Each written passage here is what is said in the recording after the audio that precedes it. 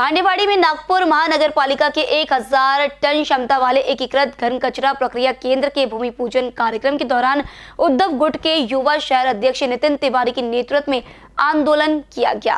साथ ही इस कार्यक्रम में प्रमुख रूप से उपस्थित केंद्रीय मंत्री नितिन गडकरी और उप मुख्यमंत्री देवेंद्र फडणवीस के ताफा के सामने नारे लगाए। हमारी टीम से बात करते हुए नितिन तिवारी ने कहा कि ये प्रकल्प हो रहा है, ये अच्छी बात है, मगर इस प्रकल्प से पूरा कचरा प्रकल्प में चला जाएगा।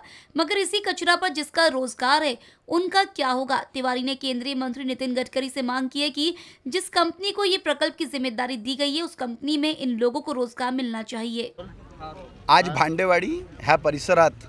आज आदरणीय गडकरी साहेब, देवेंद्र फडणवीस साहेब हे घनकचरा प्रक्रिया केंद्राच्या उद्घाटनकरिता आले होते। हा प्रकल्प सुसबीडी ह्या नेदरलँड नेदरलँडची सुसबीडी नावाची कंपनीला गेलेला आहे जिकडे इंडियामध्ये इंटरव्हेनरमधून पॅरेखान हे सी ओ आहेत आणि त्यांची आश्मी रोड केरियर ही कंपनी आहेत परंतु ह्या परिसरामध्ये जो भांडेवाडी परिसर आहे यामध्ये पूर्ण घाण आहे पूर्ण शहराचा कचरा इतर एकत्रित होतो आणि याच्यासोबत रॅकपिकर्स आहेत जे कचरा उचलणारे लोक आहेत.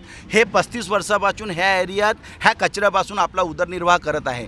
ह्या कंपनी आल्यानं कचरा डायरेक्ट तिकडे जाईल मग त्यांच्या काय होईल त्यांच्या परिवाराच्या काय होईल? तीन दशकापासून ते लोक काम करत आहे. म्हणून आज उद्धव बालासाहेब ठाकरे यांच्या वतीने मी सर्व रॅकपिकरांना घेऊन आदरणीय गडकरी साहेबांकडे आदरणीय फडणवीस साहेबांकडे आम्ही अनुरोध केलं की सर्वात कचराच्या पुनर्वसन जरुरी आहे. परंतु त्याच्यासोबत रिहॅबिलिटेशन ऑफ कामगार ह्या रॅकपिकरच्या पुनर्वसन ही नितांत आवश्यकता आहे. आणि यांच्या रोजगारच्या काय? ह्या कंपनीमध्ये आमची मागणी होती की ह्या कंपनीमध्ये सर्व प्रियॉरिटीवर प्रथम ह्या रॅकपिकरांना जे कचऱ्यावर अवलंबित आहे त्यांना रोजगार द्यावा. त्यामध्ये गडकरी साहेबांनी आम्हाला आश्वासन दिलं अधिकाऱ्यांना निर्देश दिलं की त्यांना प्राधान्य देण्यात कॅमेरा पर्सन राजकुमार मोहर के साथ अभिषेक पानसी बीसीएन न्यूज नागपूर.